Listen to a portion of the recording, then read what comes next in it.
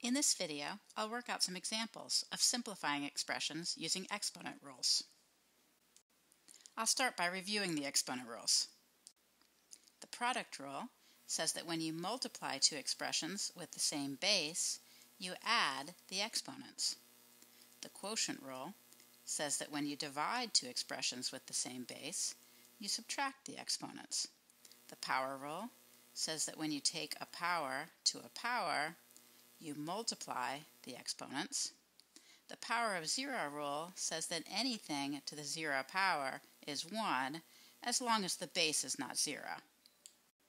Since 0 to the 0 is undefined, it doesn't make sense. Negative exponents, to evaluate x to the minus n, we take the reciprocal 1 over x to the n. To evaluate a fractional exponent, like x to the 1 over n, we take the nth root of x. We can distribute an exponent over a product.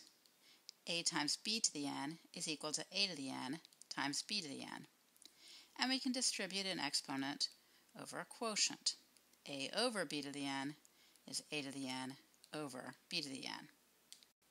In the rest of this video, we'll use these exponent rules to simplify expressions. For our first example, we want to simplify 3 times x to the minus 2 divided by x to the fourth. There are several possible ways to proceed. For example, we could use the negative exponent rule to write x to the minus 2 as 1 over x squared. All that gets divided by x to the fourth still. Notice that we only take the reciprocal of the x squared the 3 stays where it is, and that's because the exponent of negative 2 only applies to the x, not to the 3. Now, if we think of 3 as 3 over 1, we have a product of two fractions in our numerator, and so we evaluate that by taking the product of the numerators times the product of the denominators, which is 3 over x squared, all divided by x to the fourth. I can think of x to the fourth as x to the fourth over 1. So now I have a fraction over a fraction, which I can evaluate by multiplying by the reciprocal.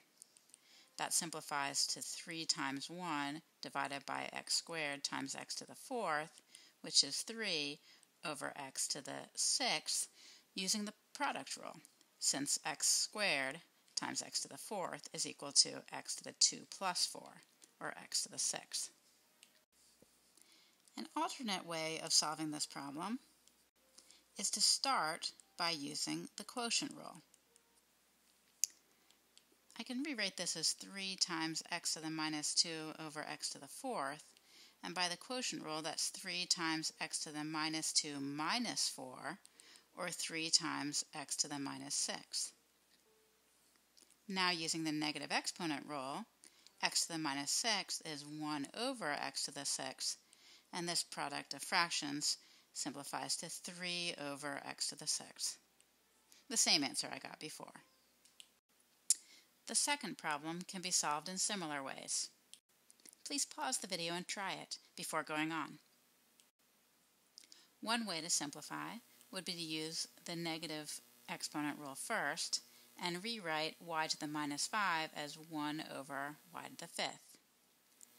Thinking of this as a fraction divided by a fraction, I can multiply by the reciprocal and get 4y cubed y to the fifth over 1. By the product rule, the numerator here is 4 y to the eighth, and so my final answer is just 4y to the eighth. Alternatively, I could decide to use the quotient rule first.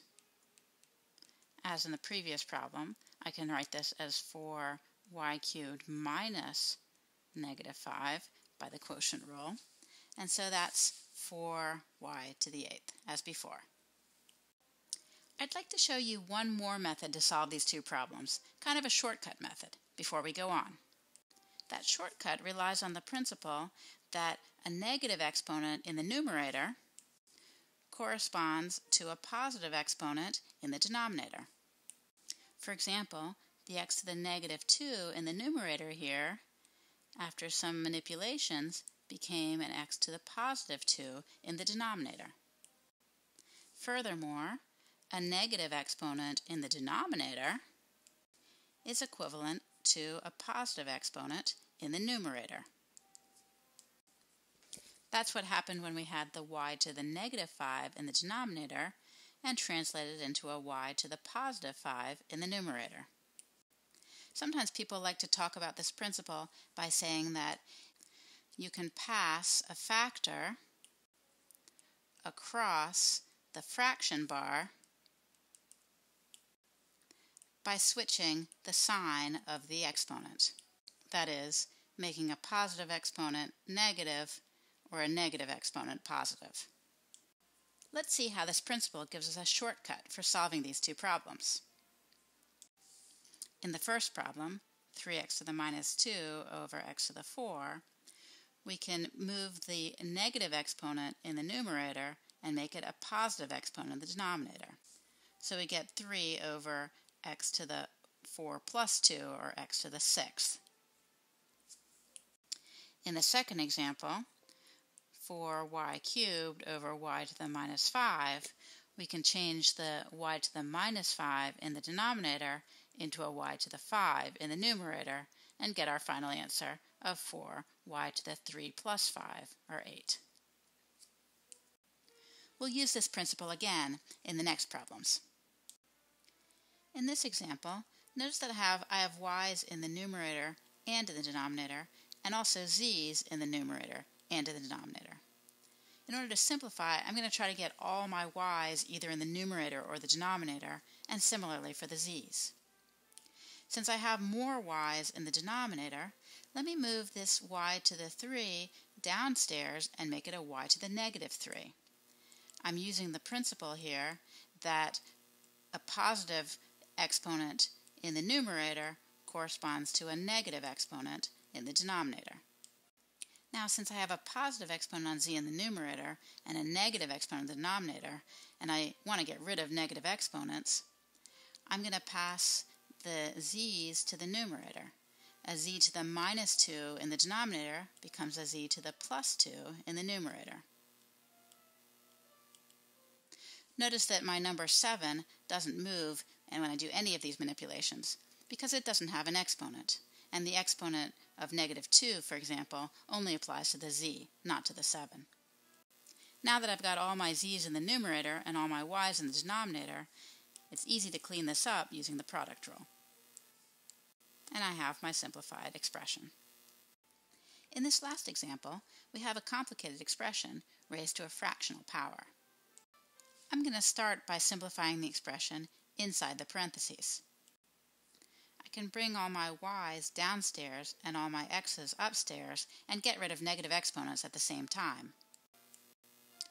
In other words, I can rewrite this as 25 x to the fourth, I'll bring the y to the minus 5 downstairs and make it y to the fifth on the denominator.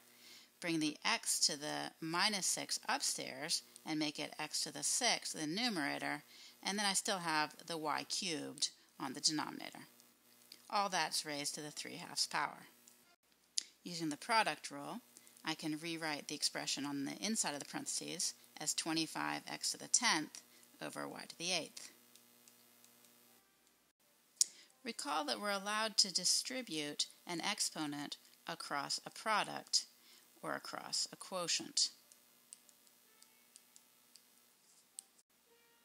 When I distribute my 3 halves power, I get 25 to the 3 halves times x to the 10th to the 3 halves divided by y to the 8th to the 3 halves. Now the power rule tells me when I have a power to a power, I get to multiply the exponents. So I can rewrite this as 25 to the 3 halves times x to the 10 times 3 halves over y to the 8 times 3 halves. In other words, 25 to the 3 halves times x to the 15th over y to the 12th. Finally, I need to rewrite 25 to the 3 halves. Since 3 halves can be thought of as 3 times 1 half, or as 1 half times 3, I can write 25 to the 3 halves as 25 to the 3 times 1 half, or as 25 to the 1 half times 3. Well, using the power rule in reverse, I can think of this as 25 cubed to the 1 half, or as 25 to the 1 half cubed, since when I take a power to a power, I multiply the exponents. 25 cubed to the 1 half might be hard to evaluate, since 25 cubed is a huge number. But 25 to the 1 half is just the square root of 25. So I have the square root of 25 cubed, or 5 cubed, which is 125. Therefore, my original expression is going to be 125 x to the 15 over y to the 12th. In this video, we use the exponent rules to simplify complicated expressions.